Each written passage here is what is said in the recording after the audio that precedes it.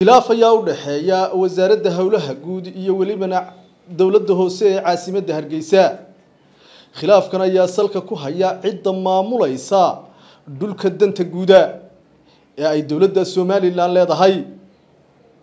Waxaana arrintaasi ka hadlay oo waraaqa ka soo saaray wasaaradda howlaha guud oo ku socodsiisay dhammaan dowladaha hoose ee somalilan ina ay iyadu maamusho dhulka danta guuda. Waxaa arrintaasi sidoo kale ku raacay wasaaradda arrimaha gudaha ee somalilan oo dhammaan fartay dowladaha hoose maayarada iyo welibana barasaabada gobollada iyo taliyaasha qaybeedyada ina ay maamulayso dhulka danta guuda. Wasaaradda howlaha guud. Arrinta khilaafku ka dhashay ayaa soo taxnayd ilaa shan iyo labaatankii bishii hore oo kulan ballaadhani ka dhacay wasaaradda arrimaha gudaha dhexdeeda. Kaasi oo lagaga hadlayay cidda maamulaysa dhulka danta guuda.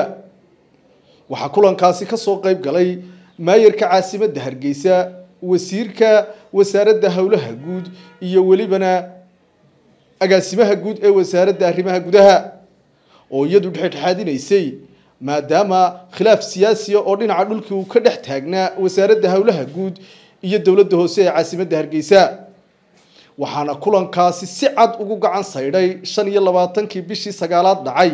Maayarka caasimadda hargeysa oo sheegay inaanu isagu ku dhaqmaynin xeer seventiin oo awood u siinaya dhulka danta guuda wasaaradda howlaha guud.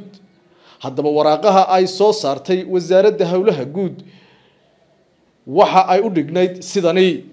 Wareegtadani wasaaradda howlaha dhulka iyo guriyeynta somalilan oo soo baxday labadii bishii tobnaad labada kun iyo saddex iyo labaatanka ayaa u dhignayd sidani. Ku dhammaan dowladaha hoose ee dalka jamhuuriyadda somalilan ku taliyaha ciidanka booliska jamhuuriyadda somalilan ku wasaaradda arrimaha gudaha ee somalilan og madaxweynaha jamhuuriyadda somalilan ujeeddo hanaanka maamulka dhulka magaalooyinka dalka. Markaan arkay dastuurka jamhuuriyadda somalilan oo qodobkiisa labiyo tobnaad ee eebeka sako guud ahaan dhulka jamhuuriyadda somalilan waxa iska leh. Dowladda somalilan sidaa awgeed awooddiisa maamul wareejintiisa iyo soo jeedintiisa sharci udejineed waxa u gaar tahay golaha xukuumadda. Xeer lamber qodobkiisa labaad farqadiisa labaad iyo qodobka sideedaad farqadiisa koowaad maamulka dhulka. Danta guuda waxa iska leh dowladda dhexe oo u igmatay wasaaradda howlaha guud dhulka iyo guriyeynta somalilan. Sida ku cad qodobka saddexaad farqadiisa koowaad iyo qodobka lixaad farqadiisa koowaad ee xeer lamber oo sheegaya in nashqadaynta magaalo ama qayb ka mid ah awood sharci u leeyihiin guddida nashqadaynta qaranka iyo wasaaradda howlaha guud oo keliya. Xeer lamber qodobkiisa shanaad farqadiisa labaad oo tilmaamaya in xafiiska nashqadaynta ee wasaaradda howlaha guud khasnadiisa mar kasta lagu kaydinayo nuqul asalka ah ee orijinaalka ah ee nashqadda magaalooyinka dalka jamhuuriyadda somalilan waxaana uu wasiirku isagoo hadalkiisa sii wata yidhi waxa aan soo saaray qodobadani hoos ku xusan laga bilaabo taariikhda maanta dhammaan dowladaha hoose ee dalka waxaa ka reeban inay maamulaan bixiyaan sharci u sameeyaan ama cid dejiyaan dhulka danta guuda. Laba sidoo kale waxaa mamnuuc ah inay dowladaha hoose sameeyaan nashqad qorshe beereed ama maab nooc kasta uu yahay.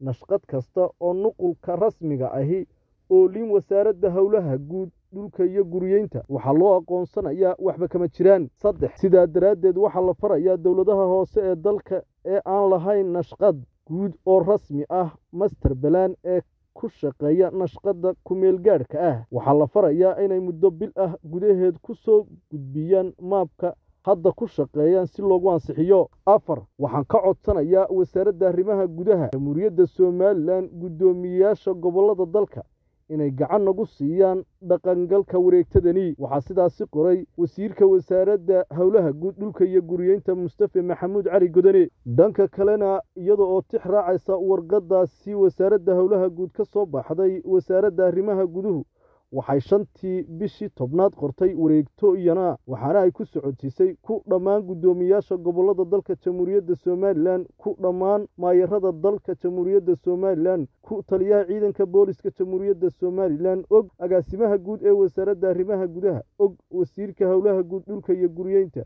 og madaxweynaha jamhuuriyadda somalilan waxaa la farayaa dhammaan dadkaasi ina ay la shaqeeyaan wasaaradda howlaha guud maadaama iyadu dhulka danta guuda maamusho ayaa ay tidhi wasaaradda arrimaha guduhuna iyadoo adeegsanaysa xeer sebentiin iyo qodobada jamhuuriyadda somalilan ee siinaya ee kale. Khilaafkan ayaa salka ku haya cidda maamulaysa dhulka danta guuda shan iyo labaatankii bishii na dhaaftay ee sagaalaad shir ayaa ka dhacay wasaaradda arrimaha gudaha ee somalilan waxaana shirkaasi ka soo qayb galay maayarka caasimadda hargeysa iyo xubno kale oo uu hogaaminayey oo xildhibaanada golaha deegaanka iyo welibana wasiirka howlaha guud dhulka iyo guriyeynta. Agaasimaha guud ee wasaaradda arrimaha gudaha waxaana halkaasi laga wada hadlayay cidda maamulaysa dhulka danta guuda. Maayarka caasimadda hargeysa ayaa si cad u sheegay ina uu isagu maamulayo dhulka danta guuda. Waxaana isku khilaafay wasaaradda howlaha guud iyo maayarka caasimadda hargeysa. Waxaana shirkaasi ka kacay oo ku gacan saydhay maayarka caasimadda hargeysa oo isagu sheegay ina uu maamulayo dhulka danta guuda. Waxaana uu khilaafku ka soo bilaabmay wakhtigaasi waxaana aynu eegi doonnaa bal cidda ay awooddu siiso in la maamulo dhulka danta guud